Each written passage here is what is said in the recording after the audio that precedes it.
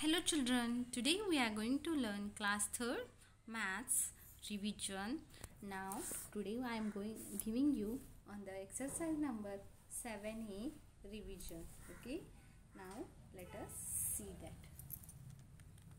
Answer the following.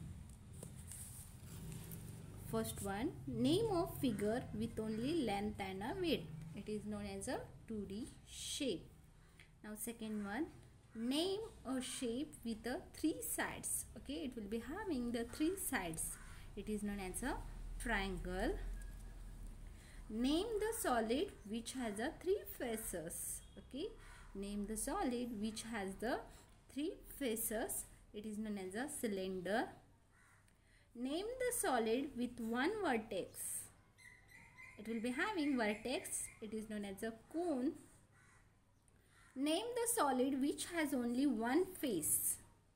It is having the one face it is known as a sphere. How many edges does a cube have? Okay. How many edges the cube have? Cube have 12 edges. Name a 2D shapes with no diagonals. It don't have any diagonals only. It is known as a triangle. Next one. Name a solid with two face. It is known as a cone.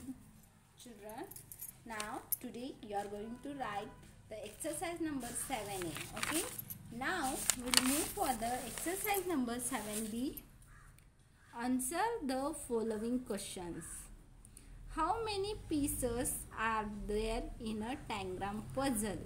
Now in a tangram puzzle, 7 pieces are there which of the following is not a tangram piece okay? Uh, in exam I can give the name of these figures also children and I can draw this also. Then circle do it is not a part of a tangram puzzle.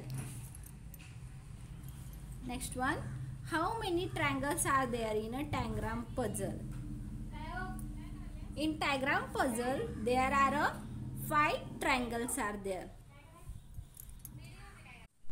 Tangram originated in which of the following countries? Okay.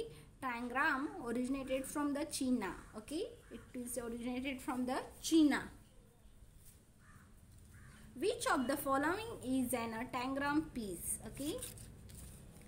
This. This is a tangram piece D1. Okay. This you have to write in a notebook children. It is today's revision.